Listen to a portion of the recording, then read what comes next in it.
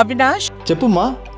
దగ్గరలో ఉన్న మెడ్ ప్లస్కు వెళ్ళి మెడ్ ప్లస్ బ్రాండ్ మెడిసిన్స్ అని అడిగి కొనుక్కునరా అక్కడ ఫిఫ్టీ టు ఎయిటీ పర్సెంట్ తగ్గింపుకు వస్తుంది మీరు తీసుకునే అదే మందులు అదే నాణ్యమైన మందులు కానీ సగం ధరకే. తెలంగాణలో ముందే దీపావళి రానుందా? ఒకటో రెండో బాంబులు పెడతాయని మంత్రి పొంగిరెడ్డి అనడం వెనుక ఉద్దేశమేంటి? ఇద్దరు మాజీ మంత్రుల అరెస్టుకు రంగం సిద్ధమవుతుందా?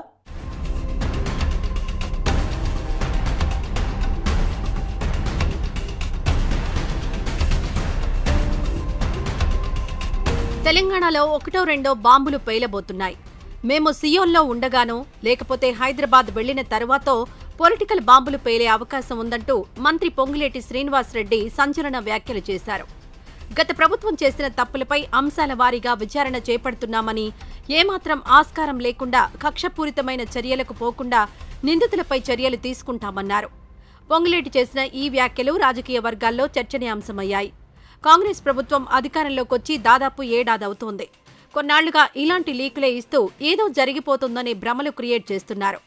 ఫోన్ ట్యాపింగ్ విషయంలో కూడా అప్పట్లో విచారణ వేగంగా చేసి కేటీఆర్కు సంబంధించి కొన్ని లీకులు ఇచ్చినా ఆ తర్వాత సైలెంట్ అయిపోయారు. ఇప్పుడు తాజాగా బాంబులు పేలబోతున్నాయని అనడం మరోసారి ధరణి ఫోన్ ట్యాపింగ్ కాళేశ్వరం అంశాలు తెరపైకొచ్చాయి. పొంగులేటి ఇంతకు పేల్చబోతున్న బాంబులేంటి బీఆర్ఎస్లో ఏ నాయకుల మెడకు ఈ వ్యవహారాలు చుట్టుకోబోతున్నాయనే చర్చ మళ్ళీ మొదలైంది.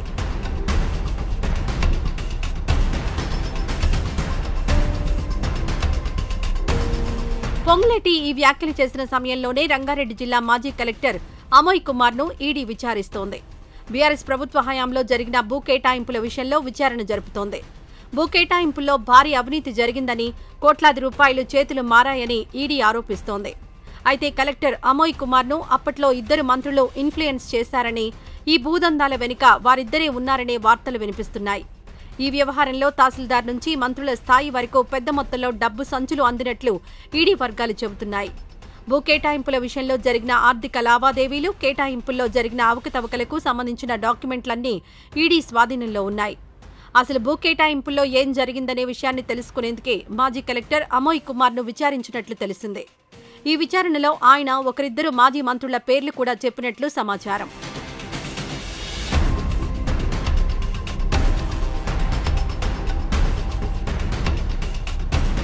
కేసీఆర్ ప్రభుత్వం ధరణి పోర్టల్ను తీసుకునొచ్చింది.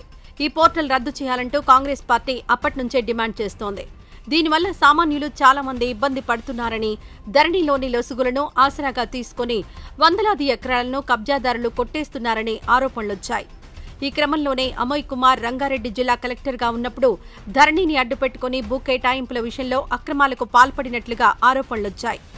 రంగారెడ్డి జిల్లా మహేశ్వరం మండలం నాగారంలో భూదాన్ భూముల వ్యవహారంలో అక్రమాలు జరిగాయని ఫిర్యాదులు కూడా అందాయి. వందల కోట్ల విలువైన నలభై రెండు ఎకరాలను అక్రమంగా బదిలీ చేసినట్లు ఈడీ అధికారులు గుర్తించారు. సర్వే నెంబర్ నూట ఎనభై ఒకటిలోని యాభై ఎకరాల భూమి నిషేధిత జాబితాలో ఉంది. అయితే ఈ భూమి తమదేనని తానే వారసురాలనంటూ కాదరున్నీసా బేగం దరఖాస్తు చేసుకున్నారు. ఈ భూమిని రెండు వేల ఇరవై ఒకటిలో సదరు మహిళ పేరు మీద అధికారులు రిజిస్టర్ చేశారు. ఆ తర్వాత ఆమె ఈ భూమిని ఈఐపిఎల్ కన్స్ట్రక్షన్ కంపెనీకి అమ్మేశారు.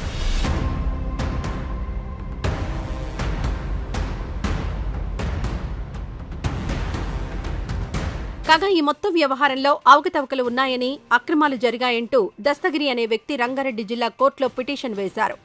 ప్రభుత్వ భూములను అక్రమంగా కొట్టేశారని దీనిపై చర్యలు తీసుకోవాలని కోరారు. మహేశ్వరం పోలీసులు కేసు నమోదు చేసి విచారణ జరపాలంటూ కోర్టు ఆదేశాలిచ్చింది. కోర్టు ఆదేశాలతో మహేశ్వరం మండల మాజీ తహసీల్దార్ సబ్ రిజిస్ట్రార్ ఆర్పి జ్యోతితో పాటు EIPL construction owner Kondapalli Sridhar రెడ్డిపై పోలీసులు కేసు రిజిస్టర్ చేశారు. కాగా ఈ కేసులో భారీ మొత్తంలో డబ్బులు చేతులు మారినట్లు తేలడంతో ఈడీ రంగంలోకి దిగింది. స్వయంగా కలెక్టర్తో పాటు మాజీ మంత్రులకు కూడా వాటాలు అందినట్లు విచారణలో తేలిసిందంట. ఈడీ ఈ విషయంలో మరింత లోతుగా విచారణ జరుపుతుందని సదరు మంత్రులపై కూడా కేసులు నమోదు కాబోతున్నాయనే చర్చ జరుగుతోంది. ఈడీ కేసులు నమోదైతే సదరు మంత్రులను తప్పకుండా అరెస్ట్ చేస్తారనే వార్తలు వస్తున్నాయి. అందుకే పొంగులెట్టి అలా బాంబులు పేలబోతున్నాయనే వ్యాఖ్యలు చేశారని అంటున్నారు.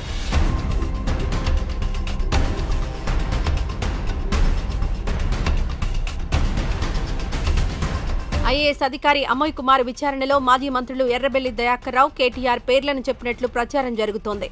గత ప్రభుత్వ హయాంలో మంత్రిగా పనిచేసిన దయాకర్ రావు పంచాయతీరాజ్ రూరల్ డెవలప్మెంట్ మినిస్టర్గా పనిచేశారు.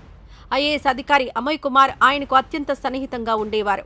అంతేకాకుండా అప్పటి ఐటీ మినిస్టర్ కేటీఆర్కు ధరణి పోర్టల్ నిర్వహిస్తున్న కంపెనీకి కూడా సన్నిహిత సంబంధాలున్నాయనే ఆరోపణలొచ్చాయి.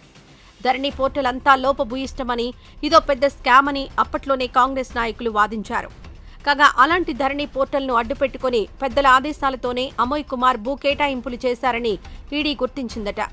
అమోయ్ కుమార్ చెప్పిన విషయాలతోనే మాజీ మంత్రులు ఎర్రబెల్లి దయాకర్ రావు కల్వకుంట్ల తారక రామారావుపై కేసులు నమోదు చేయడానికి ఈడీ రంగం సిద్ధం చేస్తున్నట్లు వార్తలొస్తున్నాయి